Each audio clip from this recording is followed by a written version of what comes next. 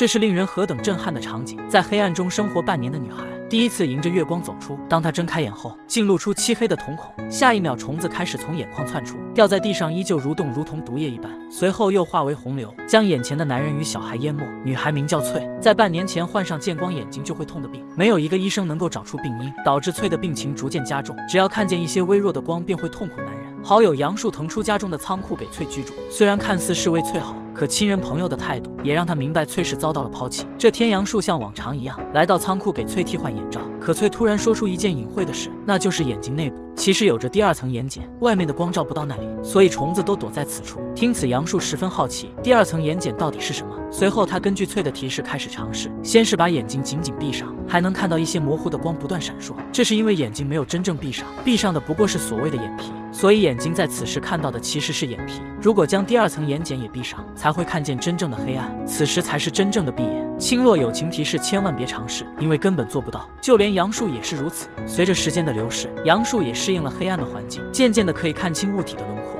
看到翠在熟练的拍着皮球，杨树十分好奇他是如何做到的。翠告诉他，地底下有条发光的河流，把两层眼睑都闭上就能看到。如果一直盯着黑暗看，就会有发光的粒子从远方浮现汇聚，渐渐变成洪流。仔细观看观察，就会发现那些发光的粒子就是虫。可每当他想去河对岸时，就会有一个独眼男子出现制止他。不久后，杨树母亲担心的事还是发生。虽然杨树将翠的眼罩还有饭盒都进行过处理，但杨树还是被传染了。母亲十分后悔，如果不是对翠产生怜悯之心，她也不会放任杨树的行为，结果导致这样的结局出现。但她依旧没有怪罪翠，还主动承担了送饭的责任。毕竟母亲也知道，所有的罪过都是那该死的病造成。翠在得知杨树的情况后，心中也十分愧疚。可等母亲回去后，发现银谷居然不请自来，还治好了杨树。银谷表示杨树患病不久，所以并无大碍，但不能再待在黑暗中。随后，翠通过发光的河流给杨树道歉。看到他哭泣的模样，杨树从梦中惊醒，见到他苏醒后，银谷开始询问问病情。杨树表示眼睛已经不疼了。对此，银谷说出病因，该病名叫黑暗瞳虫，通过黑暗繁殖，在杨树体内孵化的时间短，所以能够轻松恢复。但翠的病情就比较复杂，